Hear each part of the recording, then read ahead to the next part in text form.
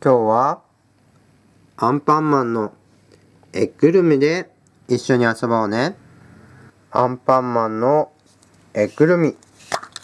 こんな卵型の容器にぬいぐるみが入っているからエッグルミ。エッグとぬいぐるみを合わせた造語だよね。このぬいぐるみたちはアンパンマンの仲間たちなんだよ。アンパンマンが2種類。こんな感じで手と足を動かすことができるんだよ。そしてちゃんとマントもしているし、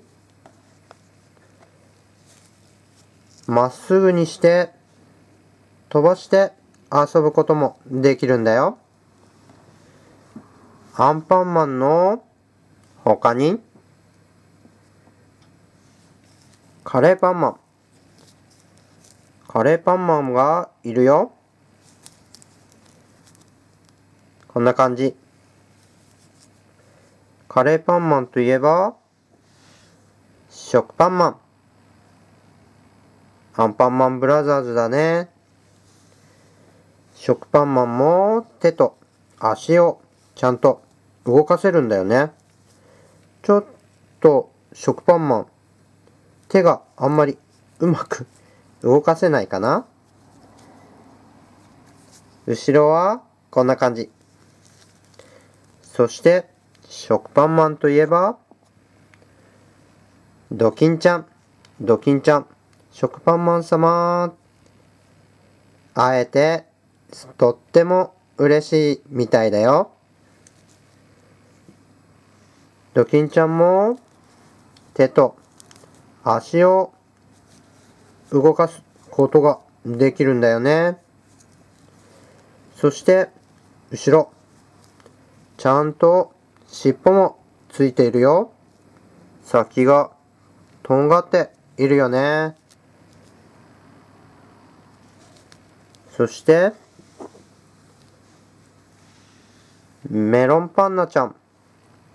メロンパンナちゃんも手と足を動かすことができるんだよ。そして、後ろ、マントをちゃんとしているね。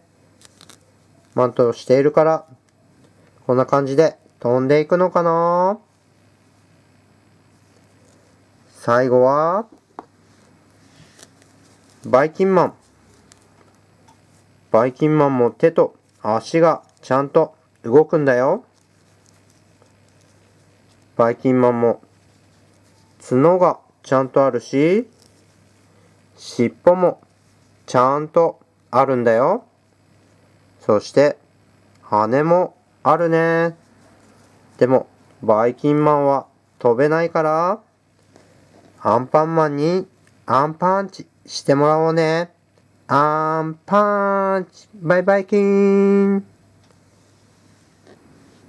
アンパンマンのえぐるみ楽しかったかな？チャンネル登録して次の動画も楽しんでね。スマホのみんなは説明欄を見てね。